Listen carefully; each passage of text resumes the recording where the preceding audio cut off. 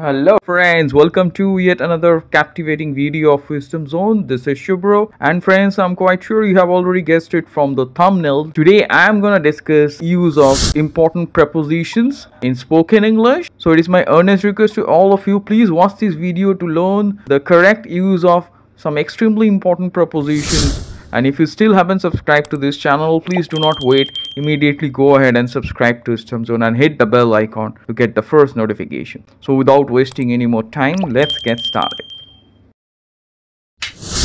So friends welcome back once again to this fascinating session on use of important prepositions and as I have promised in today's video, I am going to give you some extremely important prepositions and I'm going to discuss correct use of important prepositions and I'm going to give you so many examples so that you can understand how to use all these important prepositions and you can incorporate them in your spoken English as well as writing. So without further ado, let's get started with today's video.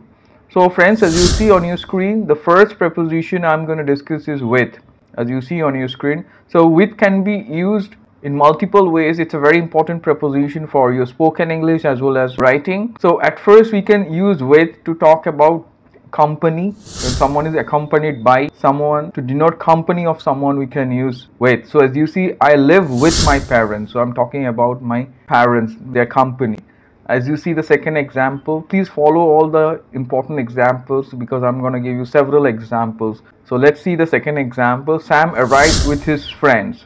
So here again I'm using with to talk about company. Sam arrived with his friends. So up next we can use with in another way as you see want to describe that you are angry with you want to express your anger and you have that anger then that time you can say that I'm angry with you or I'm angry with my brother or I'm disappointed with you. So anger, disappointment we can denote and you can say with someone.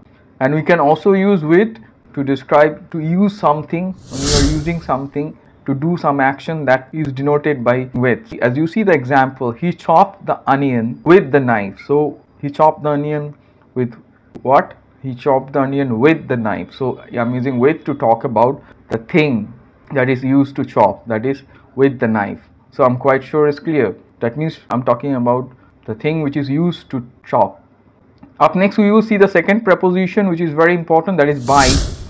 So by is also very important. You must know how to use it in your sentence correctly. There are so many important ways to use it. The first is on your screen. As you see it is used to denote the agent that does something. So let me clarify the previous example which I have shown that which you carry on the action that he chopped the onions with the knife but here we use by to denote or to describe or to point out the agent that does the job or does something. As you see, the vehicle was driven by an old man. So this old man is the agent. So similarly, you see the next example. The book was written by a renowned author. The renowned author is the person, is the agent who does the job. So I'm quite sure it's clear. So up next, we can also use by in other situations to talk about the method. So as you see, the example he traveled all across the country by train. You often say by train he traveled by car. So just remember by train by car we can say by bus. Up next we will see another example. Sam completed the assignment by himself. So that means by himself he did it. And up next we will also see how to use by in other ways. By to talk about time that is not later than so as you see the example we have to reach by 7 o'clock. That means that's the time we have to reach by that time not later than. Understood? That time you can say please finish the task by 8 pm or by 9 pm that means you have to finish it before that not later than. So that is a very important use. Just remember and use it. Up next we are going to dive into the third important preposition for today that is from. From at first can be used to indicate the place so let me show you some examples Tom comes from park street so that's the place from where he comes, from Park Street. Again, see the next example. She sent me a postcard from Rome, from that place. It is indicating the place that is Rome. Up next, we can use from in another way to indicate time when something starts. As you see, the new manager will join from tomorrow. So I'm talking about the time. So when he will join from tomorrow. I'm quite sure it's clear. Again, you can see another example. Food will be served from 8 p.m. That means from 8 p.m. onwards. Just remember here you don't have to use at. At means when you're talking about a specific time. but here I'm using from because from this time it will start that means serving of food will begin so this action will start that's why I'm using from not at so food will be served from 8 pm that means 8 pm onwards so up next we can use from in another way when you're talking about duration. That time also you have to use from. You cannot use at.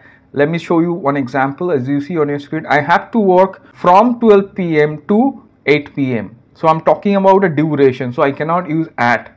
So i have to start with from and then to and say the end time. That is from 8 12 pm i'm using from before 12 pm to 8 pm so like this way you can use from so at last we can also use from to indicate the cause of something. He was unwell and died from a brain stroke. So I'm using from to talk about the cause from a brain stroke. So like this way also we have to use from to indicate the cause of something. So I'm quite sure it's clear, very important. So up next we are going to dive into the fourth preposition. We are going to discuss this on your screen that is of. Very important. You must know how to use this preposition it has multiple uses. So let me show you the first use. So it is used to denote possession or origin. So let me show you the first example. He is a good friend of mine. So mine i'm talking about mine. So as you see the next example an old habit of mine. Again i'm talking about my possession. Citizens of the nation. So i'm talking about the origin citizens of the nation. So just go through this and try to use and you can use off like this so up next we will see the second way we can use of. Of is also used to indicate number, quantity, amount, etc. So as you see we can say lots of people and we can say a lot of people also. I hope you remember the difference. And as you see the next example none of them. So I'm talking about the number here. None of them. Very important. Again you see the next example thousands of soldiers. So here of is required. I'm talking about thousands and then using of to talk about soldiers. That means you're talking about the number here, the thousands of soldiers. So up next we will dive into the next preposition and the last preposition for today that is on your screen that is to. To is also a very important preposition. The first we can use to to point out movement towards a place, person, etc. is very important. So let me show you some examples then it's going to be easier for you to understand. He went back to his hometown. So I'm talking about the movement that is to his hometown. See the next example, she drove to the mall. The next way to use it is in case of events. When you want to talk about events, it is important to use to to make the sentence correct. As you see, the example, he came to my birthday party. So I'm using to to talk about that event, that my birthday party. See the next example, she invited me to her wedding. So where she invited me to, I need to to talk about that event, her wedding party. So I'm quite sure it's clear. At last, let me tell you we can use to to indicate time. As you see it's 10 minutes to 6 that means it's 10 minutes to 6 means 10 minutes to become 6 i'm quite sure it's clear. Whenever we describe time we use that 10 minutes to 6 or 5 minutes to 6 so like this way you can use we have to use to as i have already mentioned when you want to talk about the duration duration of time that time you cannot use at you have to use from and to. As you see she walks from 9 a.m and when you want to talk about the end time then you have to use 2 she walks from 9 a.m to 6 p.m so i'm quite sure it's clear. Here i'm using 2 to talk about the end time. So i'm quite sure it's clear. So in case of duration when you want to talk about duration point out the duration time duration. So that time you have to use 2 in this way. So i'm quite sure it's clear so friends, today I gave you some extremely important prepositions and I have shown you how you can use all these important prepositions in different ways and please remember the uses, try to incorporate them in your spoken English and they are useful for your writing also to construct the correct sentences. Try to incorporate in your writing also and I'm quite sure you have liked this video like my other videos. So it is my earnest request to all of you if you still haven't subscribed to this channel Please do not wait, immediately go ahead and subscribe to Wisdom Zone and hit the bell icon to get the first notification. So stay tuned for further informative videos friends and please do not forget to like, share, comment and subscribe to Wisdom Zone.